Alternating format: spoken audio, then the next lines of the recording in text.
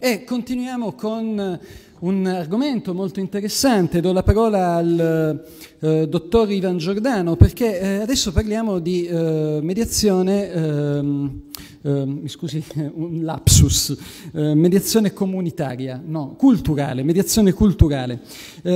Devo fare una precisazione. L'ingegner Magdi Faltas è presidente dell'Unione della Comunità Euro-Egiziana. Ecco, ci tenevo a precisare questo.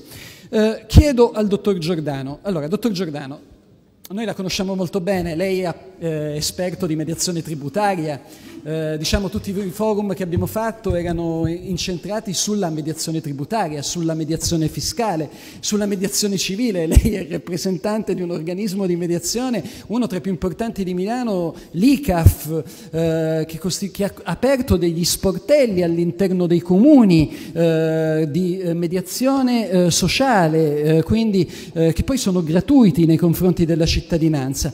La domanda mi viene spontanea, ma eh, come mai adesso ha abbracciato anche il settore della mediazione culturale?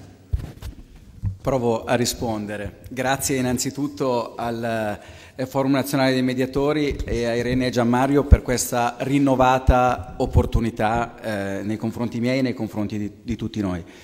È nata un'esigenza, credo che eh, chi ha avuto esperienze pratiche in mediazione chi è responsabile di organismi di mediazione all'indomani dello scorso 20 settembre eh, abbia notato come un naturale indotto di mediazioni ha portato per alcune materie in particolare, quali la locazione, il condominio, i contratti bancari, anche gli affitti d'azienda, eh, soprattutto in grosse aree urbane, parti di etnie differenti. Io prima ero abituato, anche forse per una cultura, un approccio alla mediazione, ad avere gli italiani in mediazione.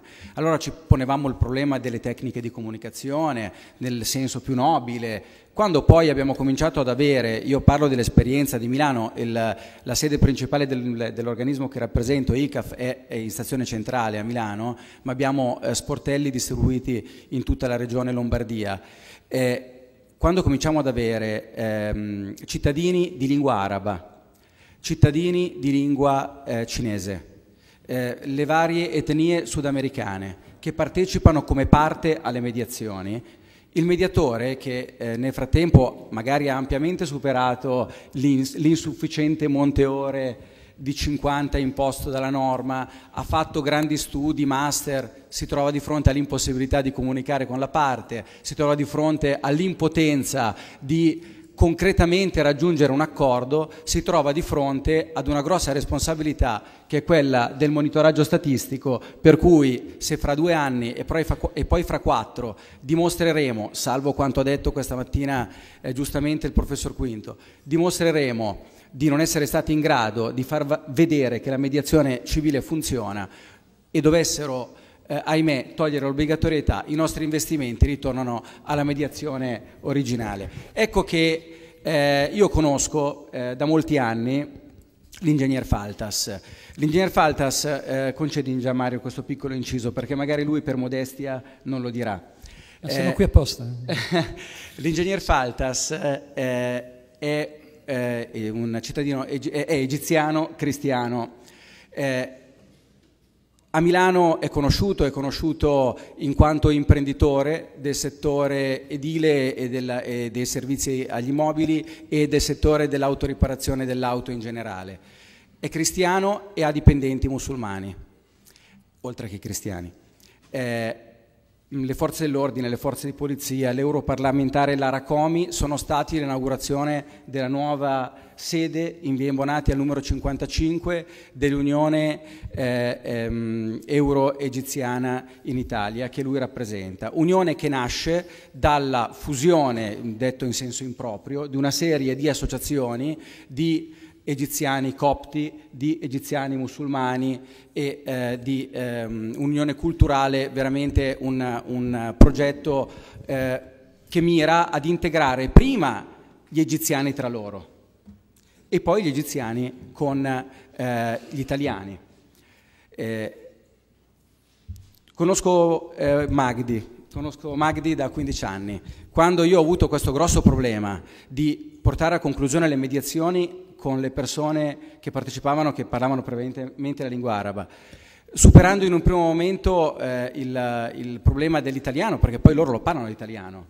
Il problema è firmare un verbale di accordo in italiano per loro.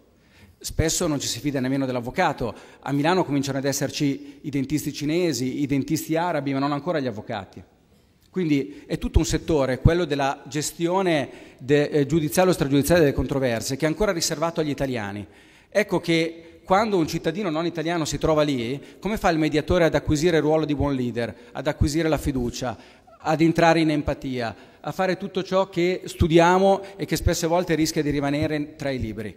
E io ho bussato alla porta di Magdi e gli ho detto che avevo questo grosso problema, questa grande esigenza e gli ho chiesto di sperimentare con me la possibilità di mettere a disposizione un mediatore culturale eh, all'interno dei procedimenti di mediazione. E lui mi ha detto, come giustamente diceva stamattina il professor Quinto, che mi ha detto ma la mediazione cos'è? E allora mi ha detto guarda che prima di tutto dobbiamo partire formando i mediatori. Eh, vedo Saber qua davanti a me, lui è studente in ingegneria eh, edile, eh, sei nato in Italia, eh, parla l'italiano con l'accento milanese, lo perdonerete per questo.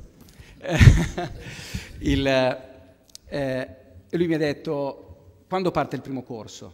Perché io ho bisogno di formarmi come mediatore, se vuoi che sia al tavolo accanto al mediatore o accanto alla parte. Ecco, eh, ho cercato di dirvelo nella, nel, guardandolo dal lato più pratico. Il motivo per il quale siamo qua con il presidente dell'Unione Euro-Egiziana in Italia che io ho la fortuna eh, eh, di esserne amico prima che di instaurare un rapporto di lavoro, è proprio questo. Siamo partiti con questa formazione, abbiamo iniziato questo progetto sperimentale che sta dando dei risultati enormi, tutto questo l'Unione eh, Euro-Egiziana lo sta offrendo alla mediazione civile gratuitamente in questo progetto sperimentale eh, per il momento purtroppo solo milanese ma io mi auguro possa essere esteso a tutto il territorio nazionale. Grazie.